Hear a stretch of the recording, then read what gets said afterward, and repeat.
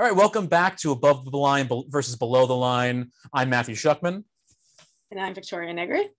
And uh, we decided uh, we're going to take a little time to talk about with the with the Academy Awards happening this Sunday. We thought we'd go back and talk about uh, a film that was, you know, much loved throughout the year and, and, and hopefully will do well during award season, which is Promising Young Woman. Yeah, um, so Promising Young Woman is by writer director Emerald Fennell, who I know. I think this is her directorial debut. Yeah, I believe so. Correct. Yeah, and she's um, been a writer on a lot of different projects, but um, it stars Carey Mulligan, who is uh, a woman who we we watch her. It's basically a revenge thriller film where she is essentially getting revenge on men for doing uh, uh, something that happened to a friend of hers. Uh, so she goes into these clubs and she ends up uh, pretending to be drunk and lures these guys into her home and puts them in situations where maybe they might do something that they uh, may regret down the line. Um, yes. So yeah, it, it plays on that that uh, scenario that we we talk a lot about nowadays uh, with the Me Too movement and such. And stuff that unfortunately happens way too often in real life. Yeah, yeah. Um, but yeah, what really surprised me about this film was the the production design. Uh, okay. Considering what it's about, it's like very bubblegum, um, colorful. Uh, I loved the costumes. I thought that that was like uh, it was all really refreshing to me to see that playful aspect of it. And I would have loved that kind of stuff to come through even more in, in the film itself, for mm. it to hmm. be a little a little more playful. Um, okay. Yeah. Well, you know, I think what's interesting too, and it's because I'm definitely the type of person that I definitely like the movie. Um, and I think for everything it's trying to say and everything it's doing, it, it's it's a plus. But I felt it was actually I wouldn't consider it an amazing movie. I think just mm-hmm. on a lot of surface levels, it's just like, you know, great story, great way of telling it, but you know, in the same breath, it's nothing revolutionary as far as filmmaking goes. Mm-hmm. And what I found interesting about it, I did find a lot of the tone a little too uneven, specifically when you get to the end. Um, and I thought those those I get the point, but I think the over hamminess of the frat boys just didn't fit in too much because when it starts to get you know especially really serious at that point they're still playing it for that kind of like almost like cliche joke version of those characters and it just it didn't feel right for me somehow. Yeah i think I, I, I don't i don't disagree with that. I think some of the characters to me were a little confusing like i wasn't sure like she still lived at home but uh, how old was she and what did that mean? And some of the characters that she brought home i was like well what what's going on here exactly with these people um yeah the ending i i i, I was just thinking about this before we hopped on mm. i kind of only want to talk about the ending but then it like then it like spoils everything for people because what's so interesting about this film is, to me is how it's trying to completely subvert uh, revenge thrillers yeah. in the way it, it, it ends, which I'm so torn about. I, I, feel like it, it has to end the way it ended.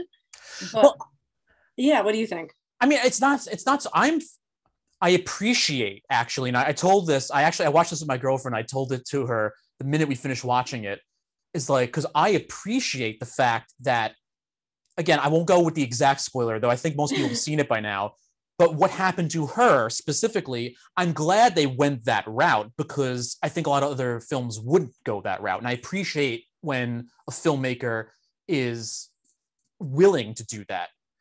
Um, yeah. But in the same breath, when you were talking earlier to like understanding characters, like the whole thing with the dean of the school, I can understand what she's doing and the dean's reaction, but I don't understand how the dean just didn't automatically call the police yeah, yeah. So basically, to set to set up people up listening and watching this, um, what happens is Carey Mulligan's character goes in to threaten the dean and say like, "I I know where your daughter is" to get information, and it's like a blackmail scenario with the dean's daughter.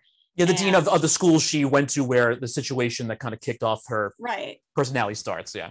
yeah and so the dean could have easily just yeah called security or the cops or something i think yeah there's a lot of things that we just kind of uh, i think the filmmakers hope that we let go of in yeah. following in following the characters the character's journey um that's definitely one of them i thought that when watching it too i was like if it's your kid wouldn't you do anything to protect her and yeah. stop this clearly unhinged woman.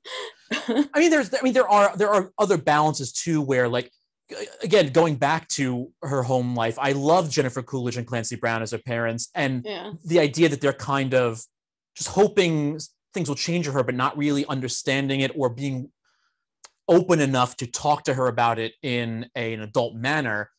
I thought is much more prescient for what probably goes on in a lot of home lives with certain things going on depending whether it's mental mental health or you know situations that people just don't want to deal with on face value mm-hmm. yeah and i think a lot of it uh, when, when you start to break down this movie and talk about it it's so heavy and depressing that that's why i really appreciated the production design and wardrobe and, and, and things like that because certain things uh, lift um, lift you out of how awful this movie is. I mean, going back to the end, going back in the themes and what it's about, like going back to the ending, yeah. what happens to her, I think has to happen because this movie is all about the fact that like she, when you are uh, a victim to something like what she and the character, her her friend, she goes through because her friend goes through it. Yeah.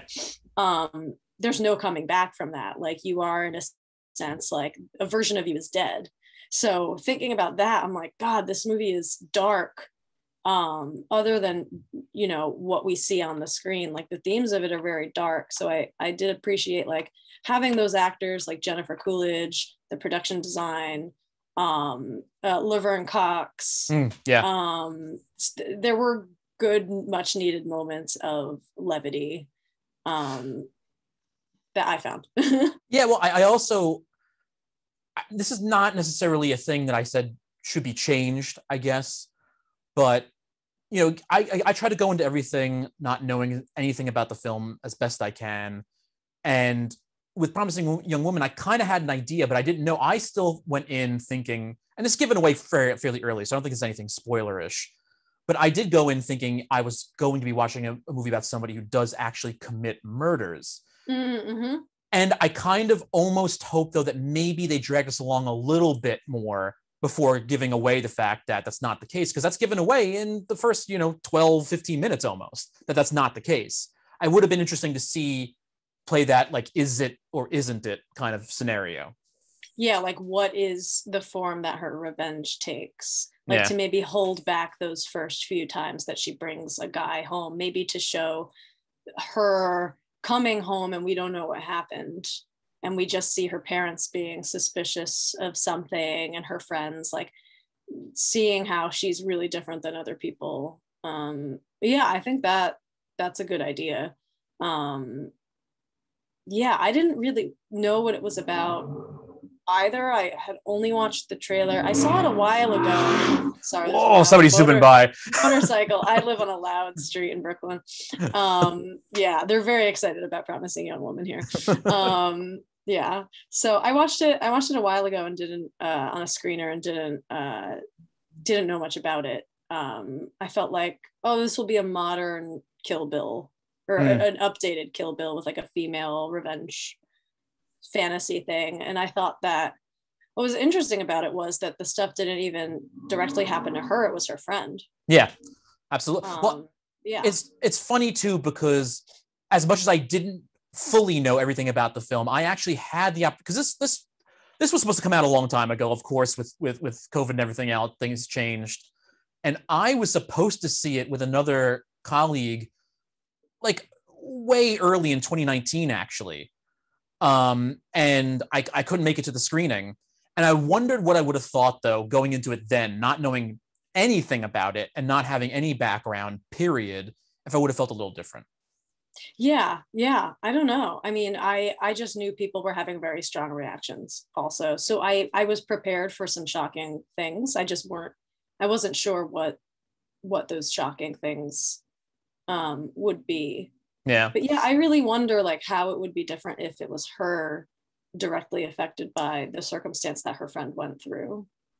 Yeah, I mean, there's there's only so much I could speak to from people I know who have gone through some stuff, and I'm not going to bring it up because that's not my place.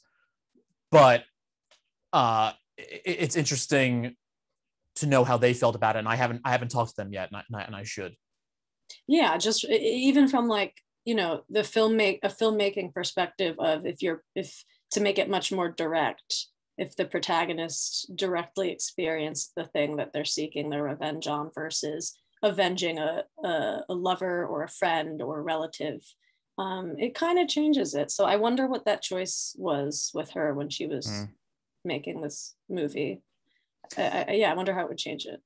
But it's well, an what, interesting choice yeah, no, I mean, uh, there's a lot that that I'm sure also if we if we dig down into interviews, we can find out more. But those are the kind of things I kind of stay away from from a little bit until I've digested a Me film too. for a long time, and then I'll go back and find out later. Yeah, yeah. What would you What would you say if you if you had to go give it that letter grade? What would you give it? Uh, I think I would give it an A. I really, I, I, I really liked it. Um, not an A plus. I don't think it's the most amazing thing ever. Maybe A minus. Hmm. A mi- maybe A minus um yeah i really i really enjoyed it i thought like it made me very uncomfortable which i know it was trying to do and it's yeah it's it succeeded in uh the kind of film it is yeah i mean i definitely I mean, and I, I don't know if I said this before, but I, it takes a lot to impress me. Even if I yeah. like something a lot, even if I think of something's a great movie, I, I I'm, I'm I'm one of those people like who hardly gives out high grades. I probably go B minus only because I I felt some uneven tones a little too much, especially toward that end there, um, where again, where I agree with where it went, but the, the tonality of it just kind of really threw me for a loop. Mm-hmm, mm-hmm. Yeah, that makes sense. Yeah. But uh, you know, it was it was good to talk to you about it, and uh, I look forward to talking to you uh, more about other films in the future. Thank you for joining us for Above the Line versus Below the Line. I'm Matthew Schuchman. Thanks. I'm Victoria Negri. Join us next time. Yeah. Talk to you soon.